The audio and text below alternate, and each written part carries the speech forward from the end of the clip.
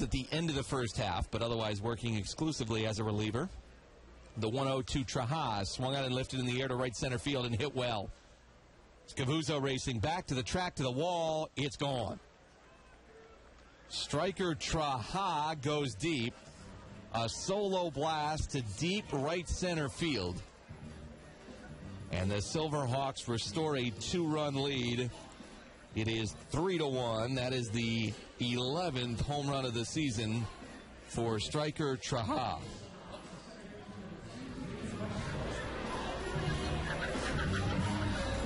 So three to one our score, and